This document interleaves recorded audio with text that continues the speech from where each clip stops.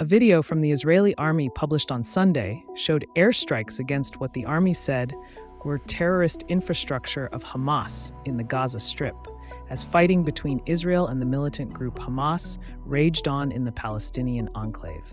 Earlier on Sunday, the Gaza Health Ministry warned that the health system was at risk of collapsing in Khan Yunis, the southern city of Gaza that is now the focus of Israel's offensive. Residents said that Israeli planes and tanks also targeted areas in the northern city of Gaza, where Israel has been slowly withdrawing troops. Fighting could be heard in the nearby cities of Beit Lahia and Jabalia.